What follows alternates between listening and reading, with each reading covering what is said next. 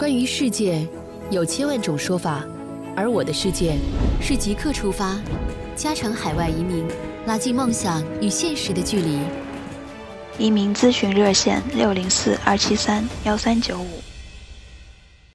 不列颠哥伦比亚省高等法院周三开始对孟晚舟引渡案的最后阶段，即是否符合引渡条件展开庭审。开庭后，主审法官首先就联邦政府提出的引渡递解申请提出质询。一直关注孟晚舟引渡案的加拿大资深移民律师李克伦表示，主审法官对政府律师提出一系列质疑。如果加拿大政府方面不能做出合理的解释，将对孟晚舟有利。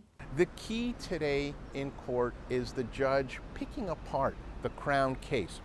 Uh, the, the judge pointed out inconsistencies in the theory of the Crown's case to extradite Ms. Meng. You don't see that happen very often. 对于加拿大指责中国维持对加拿大缉毒犯谢伦伯格的死刑判决，并因刺探国家机密判处另一名加拿大公民斯帕福有期徒刑十一年，都是为了孟晚舟案向加拿大施压，是政治干预司法。李克伦表示，加拿大的引渡程序同样难以区分政治与司法。Criticism sword is double-edged. China's criticized because political and judicial system are one and the same.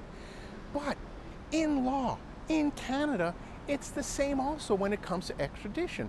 Political and judicial authority are the same. 李克伦认为，正因为孟晚舟案件明显受到政治因素干扰，而加拿大的引渡法又明确授权司法部长有权政治干预，因此尽快寻求政治解决更为合适。凤凰卫视朱克勤、苏慧文温哥华报道。